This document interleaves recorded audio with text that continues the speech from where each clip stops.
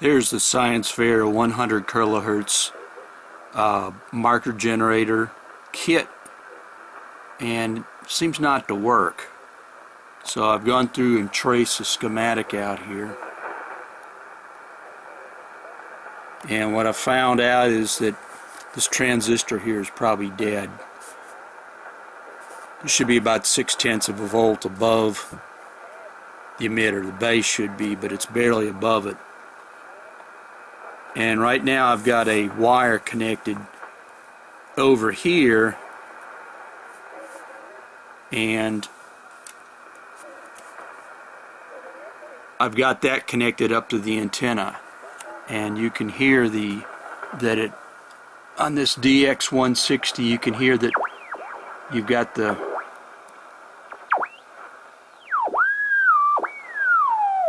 it's 5.1 megahertz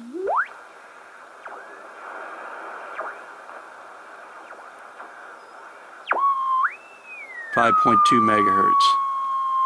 So what it is on this, this puts out every 100 kilohertz. It's going to put a harmonic out. And you turn this on over here. And what a lot it does, it puts a marker. You go ahead and line this, say, to WWV, 5 megahertz. You can zero beat it with this little trimmer cap. And once you've done that, you can go through here and use this to line your band spread or you can go through and just put this on 5 kind of figure out where you are. You can go ahead and count over the number of blips. Blip blip blip blip. So maybe 5.3 this is 5.4 so it it's an aid in the pre-digital area area to kind of figure out where the heck you are on a, an older radio. This is a DX 160 I picked up at a swap meet for I want to say 40 bucks two years ago 40 50 bucks. Seems to work pretty well. It's not all aligned. I've got this in USB mode here. So I do get a, a little bit of a, um, a, pitch off a fixed frequency. This is in this button here and this one is happens to be flaky. I'm gonna have to replace this. If you put this in AM mode you will get a a response off this thing, but it's not going to be a squeal. You'll get like a big right there every 100 kilohertz. Anyways, this is the DX.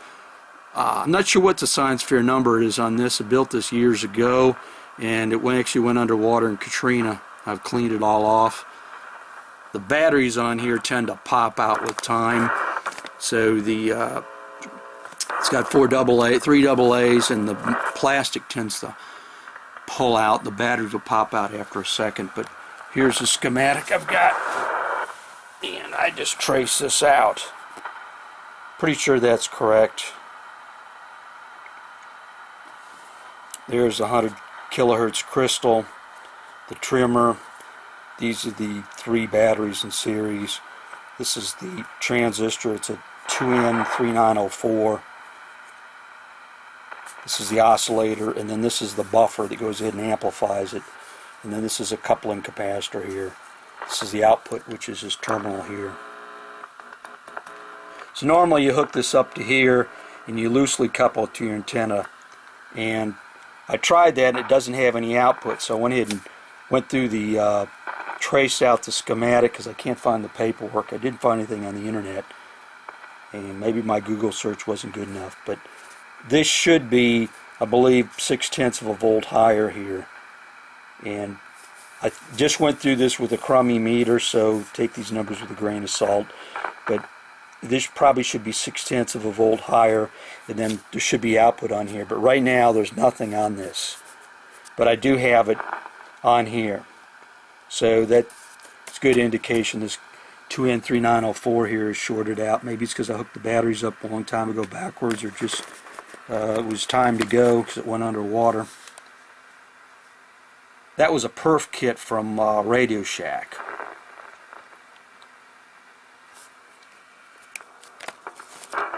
Let me turn this off. And this is the transistor here that drives the crystal. And then this is the buffering transistor. This one on here, it looks like it's a blue gray or it's a violet gray. And I'm suspecting it's probably blue which would be the 6.9k here. This is the 15k this is the 180k over here. All the capacitors are 0.01 microfarad and this guy over here is 502p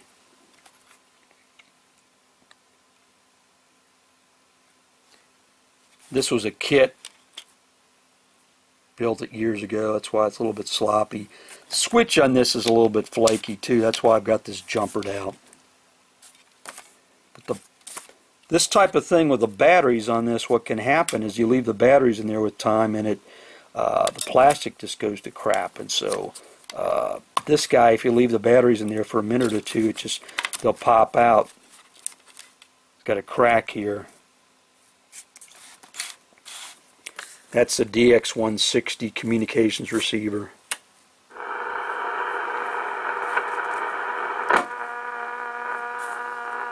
There's a lot of electrical junk going on in this room. That's why it sounds like crap here. You can pick up sideband with this.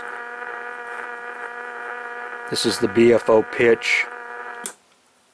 See, it's silent there. I have to play with the switch, put a toothpick in it to get it to work. That's AM. This is the later model. There's two different versions of these. I think this this was built in 77. They were built in Japan. It's actually a fairly sensitive receiver. It's pretty amazing. But again, it's got a band spread here, so you have to play around with it to kind of uh, learn how to use this, especially if you're used to using a digital radio.